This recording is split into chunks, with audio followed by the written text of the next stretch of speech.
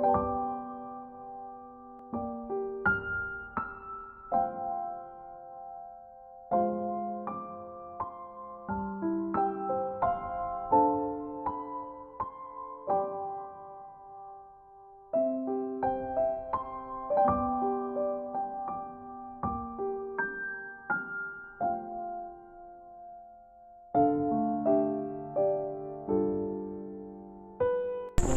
Hello, my friends.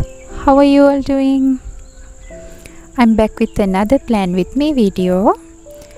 It's a little late this month, but you know what they say better late than never. So, let me start with a quick flip through of April. I really enjoyed last month Easter theme, and if you would like to check it out, I'll link it up in the card and in the description below. So now it's time for us to move on with my bullet journal setup. The brainstorming process for this month wasn't easy for me. I struggled between flowers and some other ideas. One time I wanted to recreate my last year flower theme, and the next I'm all about a new theme. But soon I realized that I have been playing with lots of colors in last few themes so I wanted to take a break from colorful color palette.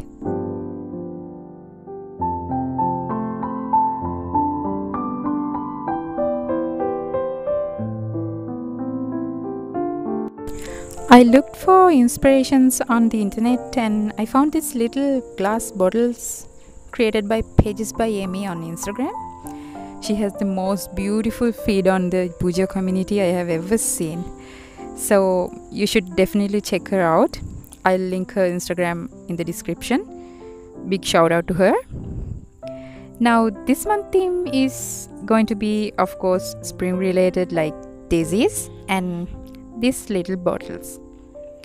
By mixing these two elements together, I created this bottle filled with flower filled, like imaginary theme. And this old pirate flag looking banner seems pretty appealing to me in order to letter May.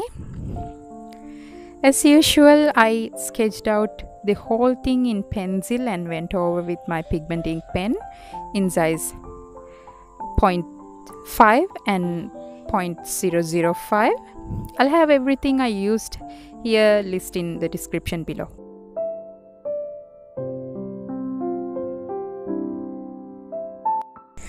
Talking about the selecting themes, I know this uh, creative bullet journaling is not for everyone. Some people like it the original way that creator of bullet journal method Ryder Carroll does. Some does creative way and some does in between everything they like. I think it is really up to you to decide what method you like and what works for you. But one thing you need to be clear on is for which purpose you use your bullet journal. Be clear on the purpose will help you to be clear along the path no matter what it is you are trying to achieve. It could be more productive, be more organized, time management, and stress releasing exercise or like a mental therapy. What I'm trying to explain here is that you have the power and the opportunity to choose your bullet journaling method on your own terms. So don't get overwhelmed by the artistic side of it or even not the minimalistic side because I know how how scary a blank page can be. Trust me, I had my own moments.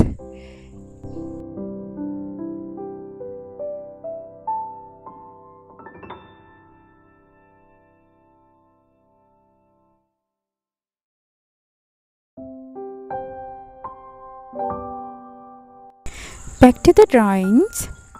I have selected a few shades of light dusty brown, a yellow and a green to this palette which is considered to previous months. I would say it is pretty minimal.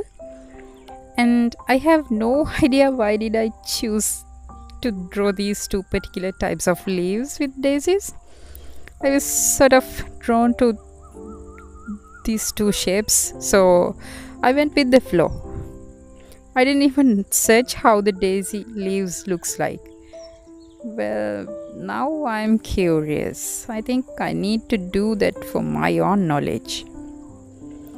I use lightest dusty brown to color this flag thing and of course the drop around the bottle and I wanted to leave daisies white so that I don't destroy the simplicity of the spread I guess and I created this mini calendar in the down right corner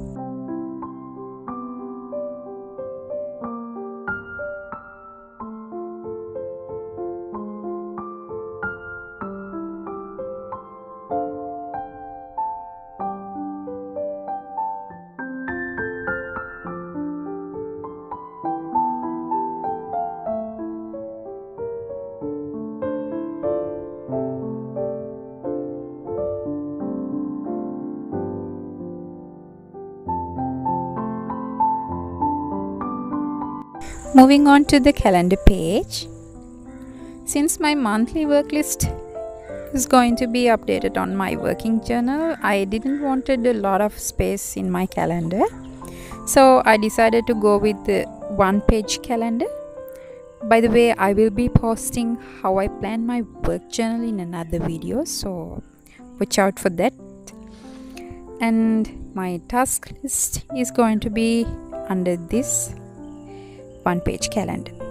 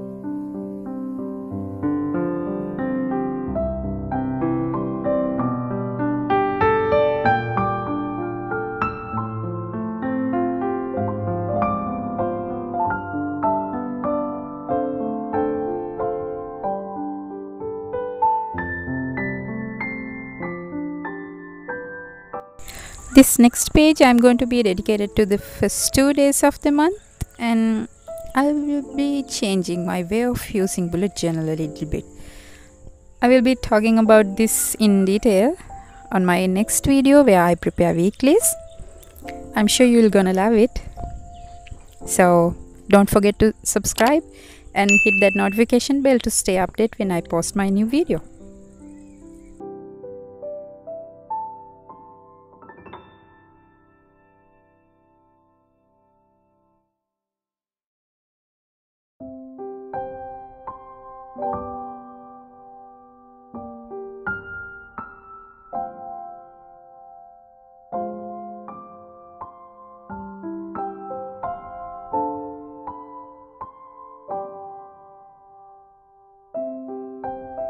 moving on to the monthly habit tracking spread.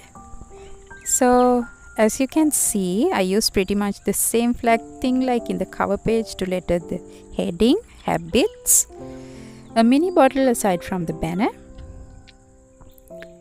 I used my white gel pen to go over some small details to make them pop a little bit.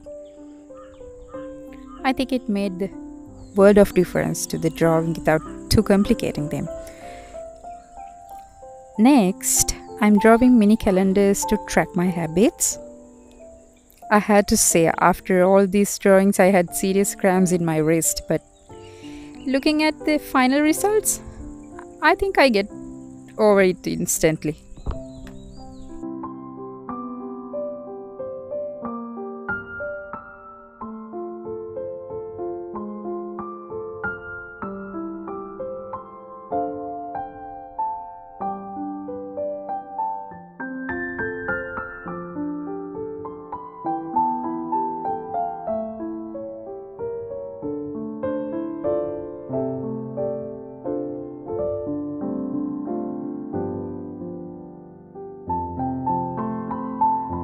Next to the habit tracking page of course the mood tracking page. So now you know the drill. Same header pattern and same colors. To be honest it seems like i always enjoy my creativity on my mood tracking page too much. I tend to create with more detailed drawings in the mood tracking page since last few months. I cannot express enough that satisfaction I feel after looking at the spread at the end of the month, how my moods have been contributed to the drawing. It's always amazed me, you know, like in a creative kind of way.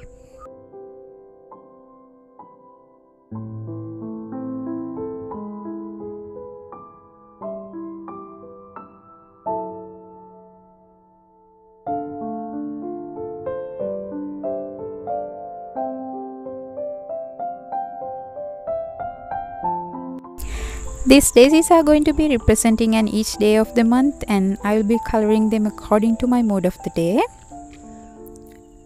As the final touch, I added some small stars, dots and little scribbles to the drawings which gave it a magical effect in my opinion.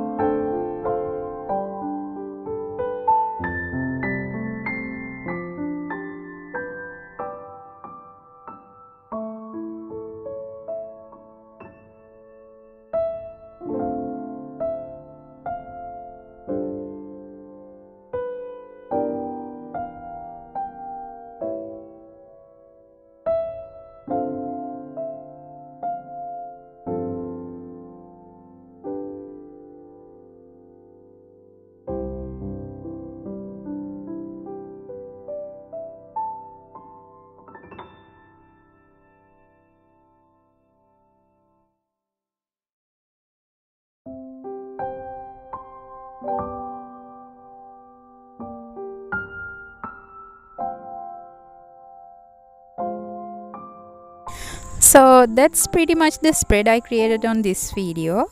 Let's see the final flip through. Those who are new here please consider subscribing and hit that notification bell if you enjoyed this video. And please give it a thumbs up if you liked it. As I mentioned, I will be posting my weeklies and uh, work journal setup in the next video uploads, so stay tuned for that too. And that's it for today. I hope you have a wonderful day. Stay happy, stay safe. Bye bye.